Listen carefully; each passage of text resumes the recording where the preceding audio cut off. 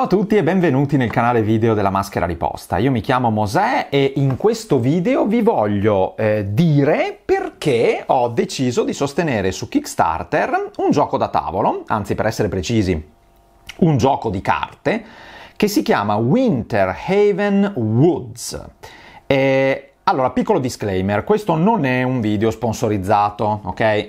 è semplicemente un video, il secondo video, diciamo, che realizzo eh, eh, appartenenti a questa serie, no? in cui spiego eh, come mai ho deciso di sostenere determinate campagne Kickstarter. Il primo video eh, che ho realizzato era per The, The Witcher eh, The Old World, eh, il video ha avuto un notevole successo anche per il titolo di grande richiamo a cui, si, a cui si riferiva.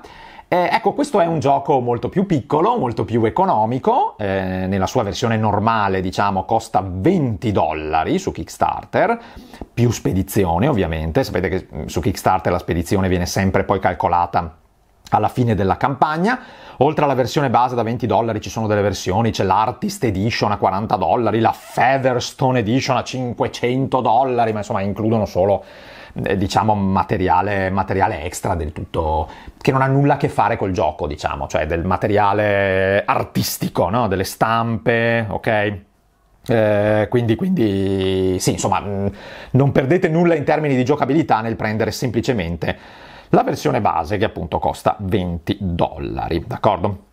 Allora, cos'è Winter Haven Woods? Winter Haven Woods è fondamentalmente un gioco di eh, card drafting e di set collection, ambientato in questo bucolico eh, mondo, diciamo, della natura, della foresta, ambientato, diciamo, in queste foreste innevate. Lo scopo del giocatore è eh, creare questi boschi attraverso delle carte che rappresentano alberi e popolare questi boschi con creature appunto eh, del bosco, ok? Quindi per esempio scoiattoli, per esempio eh, cerbiatti, ma anche animali come ricci, volpi, civette, predatori come lupi, orsi.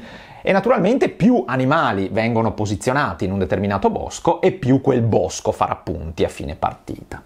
Però ecco, ci sono delle meccaniche interessanti e c'è anche un certo grado di interazione fra i giocatori, anche se la pagina eh, con la descrizione insiste molto sul fatto che questo è un family game, anzi la descrizione dice proprio eh, Wood, Winter Heaven Woods is a strategic drafting and set collection game for 1-6 players that plays in 15-20 minutes.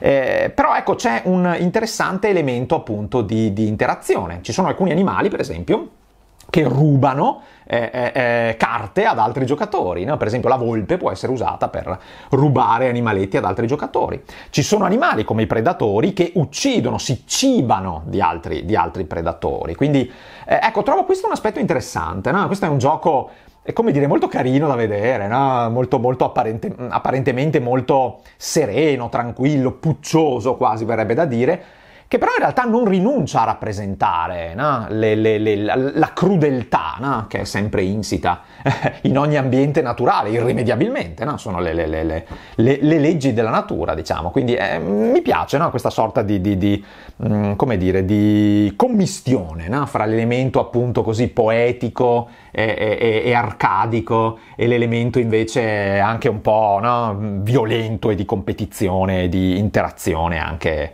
anche appunto forte. No? Eh, come funziona il gioco in soldoni? Mm, potete trovare dei video eh, linkati nella, nella, pagina Kickstarter che spiegano, in, che spiegano, in, dettaglio il regolamento, anzi potete anche scaricare il regolamento, quindi potete approfondire naturalmente eh, se avete voglia di approfondire. Comunque il gioco è diviso in tre round e ogni round inizia con un draft di carte, quindi a ogni giocatore vengono date eh, ehm, sette carte se non ricordo male e deve sceglierne una e passare le, le altre sei no, al giocatore di fianco e si va avanti così finché ogni giocatore non ha selezionato la sua, diciamo, mano di partenza per quel round. Eh, la cosa curiosa però è che questa mano non viene tenuta in mano in realtà, ma viene messa scoperta sul tavolo in una zona che si chiama la meadow, un termine che è utilizzato anche in Everdell, no? un gioco che amiamo, che amiamo, molto, proprio per indicare, diciamo, una sorta di display no? uh, scoperto, ok? E eh, una volta appunto eh, realizzato questo display eh, a ogni turno il giocatore appunto sceglie una carta da questo display, la gioca e ne, ne, ne, ne svolge i relativi effetti, d'accordo? Quindi se ha degli alberi, per esempio, può popolare eh, di, di, alberi i suoi tre boschi, perché può creare al massimo di tre boschi no? sul tavolo ogni giocatore, ok? Ci sono delle regole, no? eh, per posizionare un animaletto in un bosco eh, deve esserci almeno un albero per ogni animaletto che viene posizionato in un bosco, ok?